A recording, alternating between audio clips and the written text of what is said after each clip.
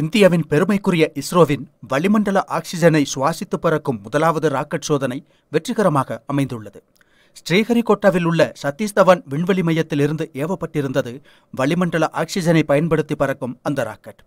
Rohini five six zero ராக்கெட்டில் ISRO உருவாக்கிய scramjet engine பொருத்தப்பட்ட மேம்பட்ட தொழில்நுட்ப வாகனம் சோதனை செய்யப்பட்டுள்ளது என்பது குறிப்பிடத்தக்கது. ஒலியை விட ஆறு மடங்கு வேகத்தில் ஆக்சிஜனை சுவாசித்து குதித்துயர்ந்துள்ளது இந்த ஏடிவி அதாவது அட்வான்ஸ்டு டெக்னாலஜிக்கல் வெஹிக்கிள் இதன் மூலம் வளிமண்டல ஆக்சிஜனை சுவாசித்து பறக்கும் ராக்கெட்டை வெற்றிகரமாக தயாரித்துள்ள நான்காவது நாடாக மாறியுள்ளது இந்தியா.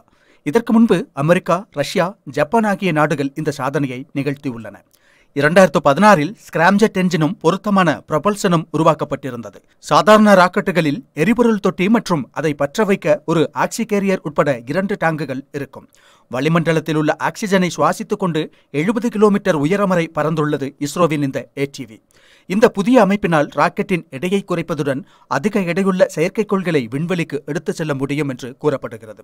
அவ்வாறு ஸ்கிராம்ஜெட் என்ஜினை பயன்படுத்துவதன் மூலம் முன்னூற்று எண்பத்து ஐந்து டன் வரை எரிபொருள் எடையை குறைக்க முடியும் என்று கூறப்படுகிறது.